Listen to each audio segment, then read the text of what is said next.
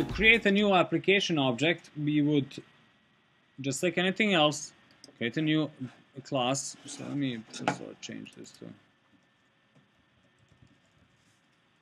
So we would create a new class, right? And we would call the new class um, Yamba, Yamba app, for example, to, to, to keep it short for Yamba application.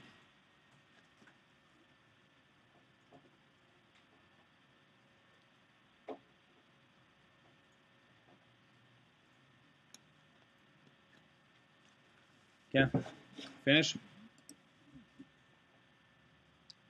So this is now going to be our application object.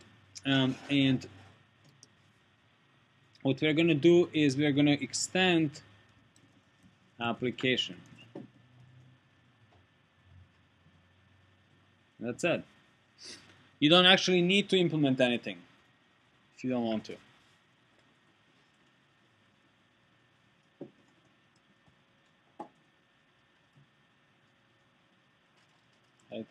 Um, what I typically do always, that's just me, I do my static final, static final string tag. Yamba app. Right? Um, and I'm kind of curious what's available in Yamba uh, in, in, in the application object itself. So we could is you could go look the documentation or you can just go source override implement methods.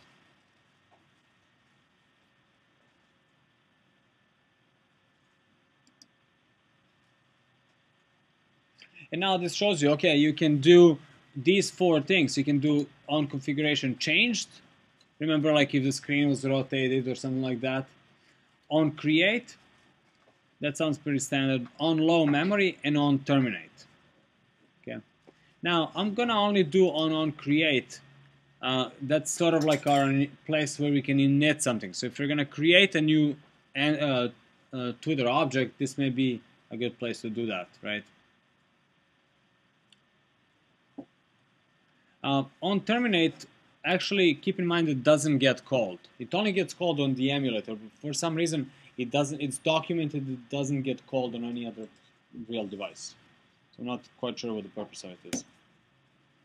On create.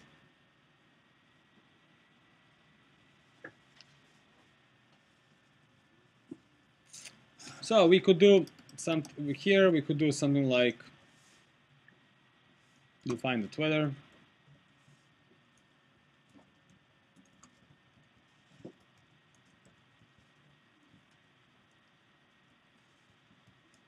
Copy paste the code that we had in other places, I could refresh service.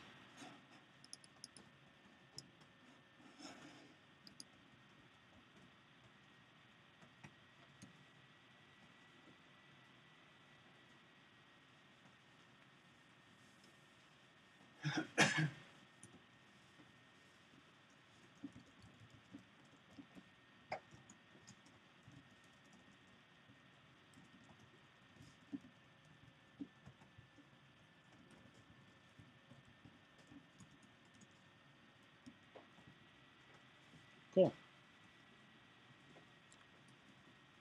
So we just moved the Twitter initialization and all that stuff into one centralized place called application or Yamba app.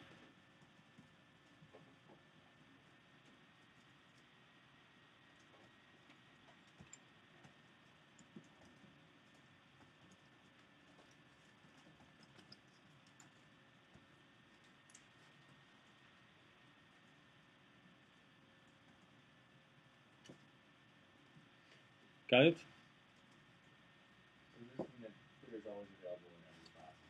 Yeah, yeah. Well, it's available in application. Application is available to everyone, so that's how it works. Now, what do we do when we define a main building block? What's the next step?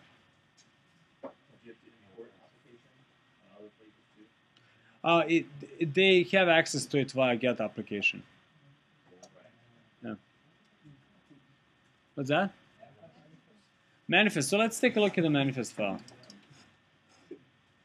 Yeah, you guys are getting this. Three days later. Well, yeah, it's a lot of repetition, but that's a good thing, right? Repetition gets it. It makes you get it.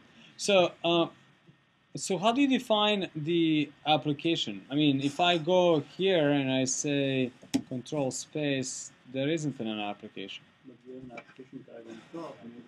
Yeah, we already have an application. Yeah. So it's actually you already have the application object. The application object is the container for all the other main building blocks. So in itself is technically not a building block, right? So I can do here. I can go to control space and then Android name, and then I would say dot yamba.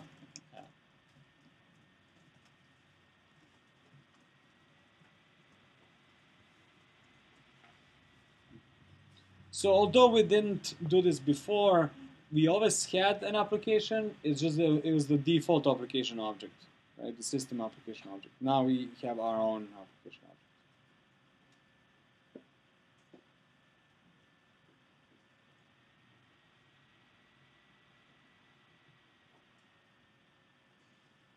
So that's that's that object.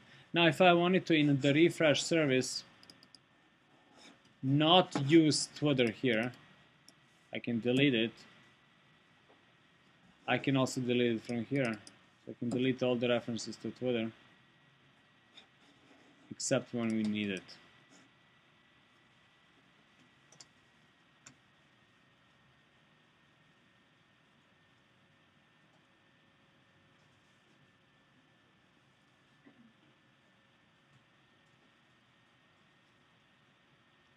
Just one second.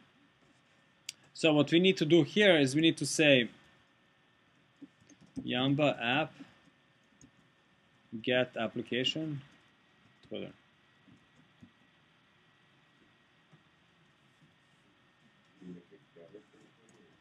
Yeah, should you make a getter for Twitter? Um, it's a good question. It's a good question. Um, in Android, we break a lot of things that you should do. Right? So yes, you should use getters and setters. No, nobody, el- no, almost nobody uses them in Android, right? There, uh, and it's this whole argument, right? Like Java was all about being a nice object-oriented language with um, encaps- proper encapsulation and everything's private, and you use getters and setters to gather data, blah blah blah, right, and, and so on, right? Um, Android kind of breaks that rule, right? Secondly, we use integers as pointers to a lot of things, right? Like technically, you know, in Java, this is very unlike Java to be able to to say, uh, where's my, to be able to say it, item get ID, and then to go into and figure out which item was clicked. Right? You wouldn't be doing that. You would be doing something like instance of operator or something like that, right? Or dot equals or something like that, right? So you would be comparing it differently. You would be working with the objects. Here we're working with integers. So the argument is that it's faster, and that's just yeah. So that's that's how I, I, you know I stick stick with it. But sure, you could um, if you're not too lazy to to type all that, you could uh, do this by uh, create. You can do this like check. Um, actually, I don't think you have to do anything. Uh, let's see. I can just do this. Source, generate getters and setters, Twitter, public, uh, and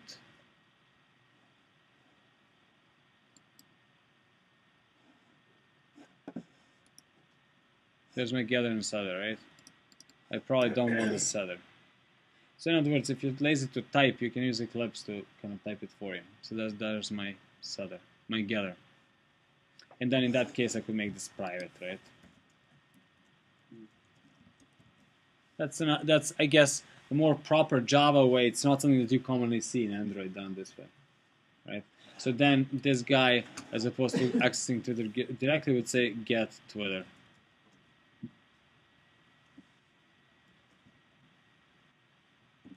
So like I said, it's neither here nor there. It really depends on uh, the style. But in a way, it makes no sense because every application is available this is redundant. The what? If the application object is available, then this is redundant actually. Um, what do you mean? The Yamba app extends the application, right? Yeah. Really need to put everything separate. Well, yeah, but still, it's a separate object. It's still a separate object. So every every container component would have to access that separate object and say, I want I want to get to one of your variables, one of your fields.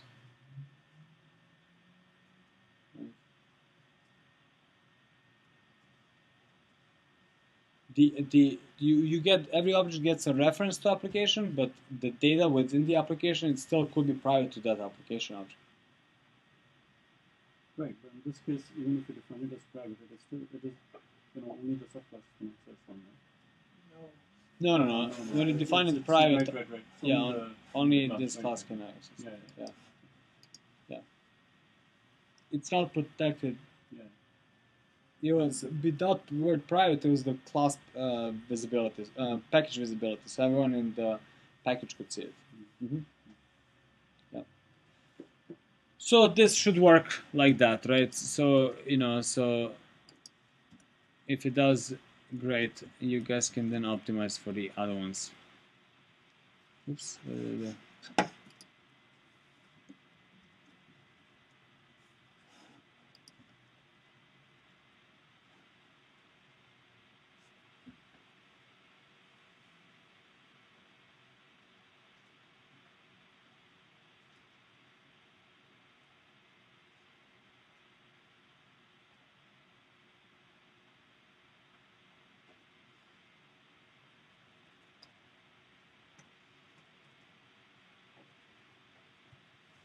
So I could go here and I could now say manual refresh.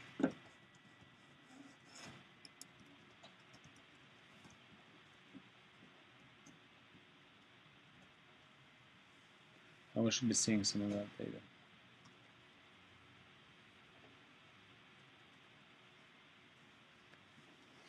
Control.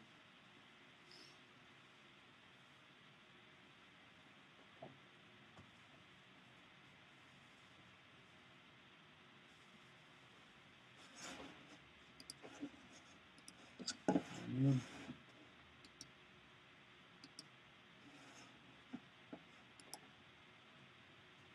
Okay, there it is. Cool. Cool. So that's it. So now we have the Yamba object. Um, what we'll do next is we're gonna optimize also uh, our updater service and status activity to use the Yamba object. Right now they don't. They have their own versions of Twitter.